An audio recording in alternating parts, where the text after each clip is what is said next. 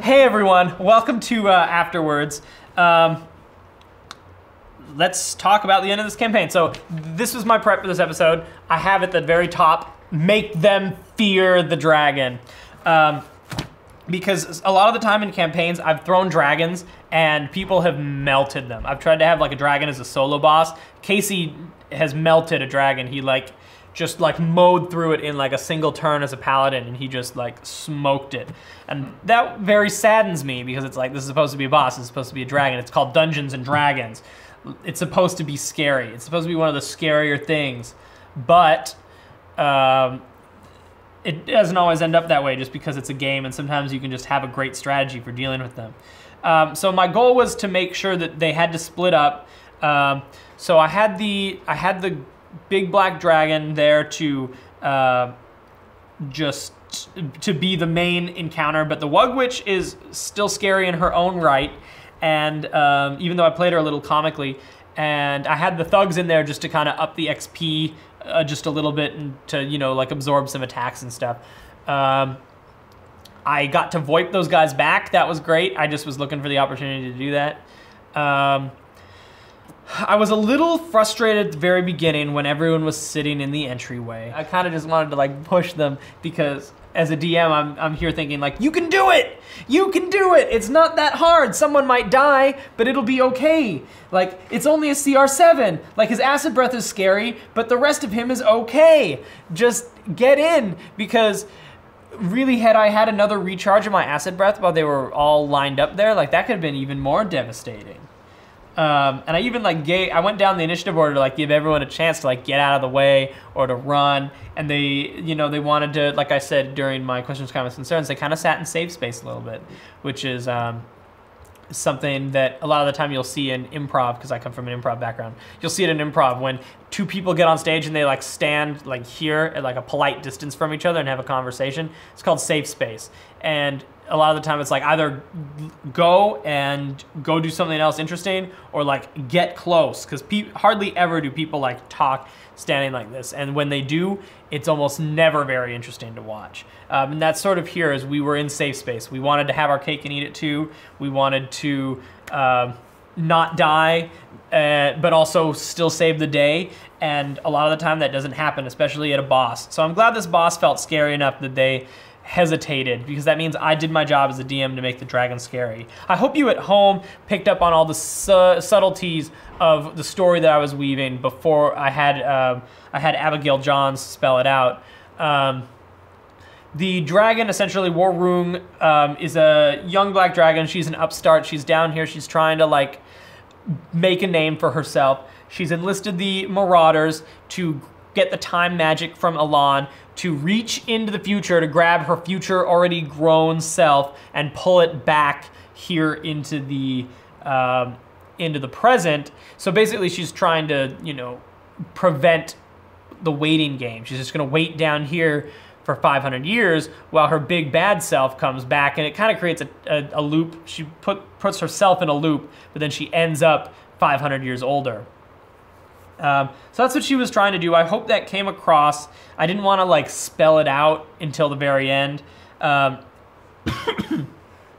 but uh, that's what was going on. The Marauders wanted to align themselves with her because they're kind of bad dudes as it is, and they thought that this is a great opportunity to gain a lot of power um, and keep sort of this area of Moray uh, not only prosperous, but get really prosperous because all of a sudden you're going to have this dragon who's going to be able to fly across the countryside and kill literally everything.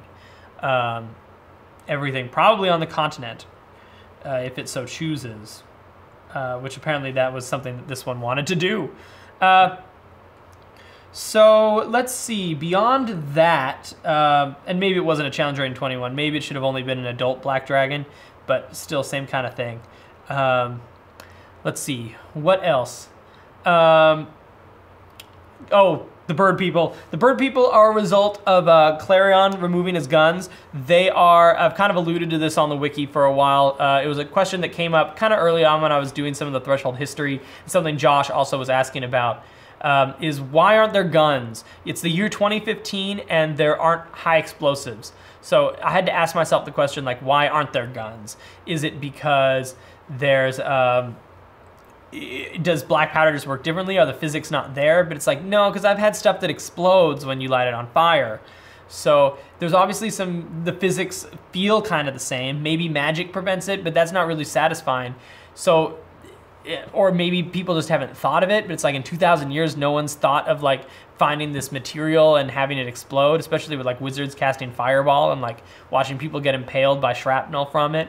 Um, so the other thing that came to mind is what if there is an entity that is policing the preventing firearms from getting out, and so thus the Birdmen were born. Uh, they are constantly divining for the existence of black powder, and when they see it, they send somebody to go and make sure that it doesn't. Um, it doesn't get out that they stop it. It happened in Nod, I think, like in the in the 1500s. It's happened a couple of the times before. Like when the bird people attack, it's a huge deal, um, and it's kind of mysterious because they come, they like it's City of Nod. They come, they sack the City of Nod, they like break in, and then they leave. And of course, that was some inventor in Nod, some smith had invented a gun with black powder. Their divination machine picks it up. They send their huge ship out there. They uh, they go and what's going to happen probably to Klarion is they're going to interview him, see what he knows about the construction of this. If they determine he doesn't know how to build these guns, they're going to just take them.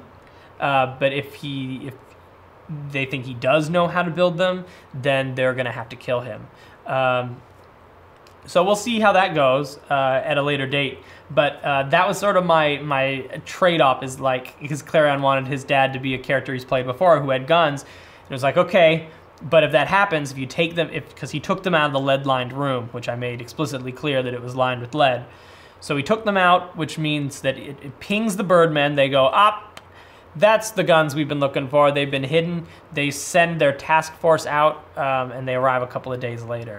How they arrive a couple of days later uh, remains to be seen. Um, but now they have Klarion and Guilliman in its possession. I like that they are uh, that the best friends from childhood are sticking together. I think that's such a fun bond, and it means that we get Guilliman back. Although I'm kind of sad that we're going to have to wait till we can come back to Klarion on our schedule to get Guilliman back. Because uh, I've fallen in love with Guilliman uh, and his crazy, creepy spellcasting. I love it so much.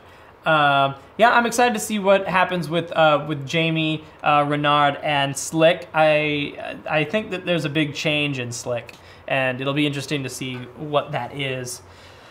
Um, but now, now that we've done this campaign, I'm kind of at the point where we have so many fun characters that I don't even know how to going so many different places. I don't know how to schedule them all. So we might have to do some some heroes episodes. It's gonna keep growing. Like I know. As long as we keep doing campaigns with new characters, it's gonna grow. Like I love it. Eventually out. So. Maybe maybe and there's other mediums. Maybe there's more Twitter campaigns or there's more. Um, there's more, or eventually, if we had the schedule and we had the funding, we could technically just do a ton more campaigns. Sure, yeah. If we, if, if we have viable time if we if it yeah That's we can make it work. That's the that dream. we dream. just do it all the time. That's a dream. Um, so yeah, that's uh, those are all the things that I have. Um, I'd love. I'm sure you guys are gonna have a bunch of opinions. So please uh, leave some comments below. I'd love to talk to you guys more about this. What you thought of the campaign? What you thought? I did some funky stuff with time travel and guns in this campaign, which normally is kind of campaign breaking. So my hope was to like keep it a little contained. Oh, I have a sword with wishes out there. I rolled on the treasure table for that, and uh, I thought about not having it, but I lent it out. So uh, Eric, you have wishes now. Um, let's see. Well, Renard has wishes now, so let's see how that goes. Um, I'm kind of excited to see what that looks like. Um, I think I'm all good. I think that's all that I have to say. Thank you so much for watching Threshold and sticking around. Uh, we're taking a couple of weeks off just for our airing schedule and to give us a little bit more of a break, but we will be back in a couple of weeks with a brand new campaign, a brand new adventure, um, and some brand new elements. Uh, I'm continuing to grow this world and it's going to get nuts. So stick around. I can't wait to share that with you guys, and uh, I will see you soon. Thanks for watching After Words. Uh, tweet me on Twitter, subreddit, all that good stuff. Thanks.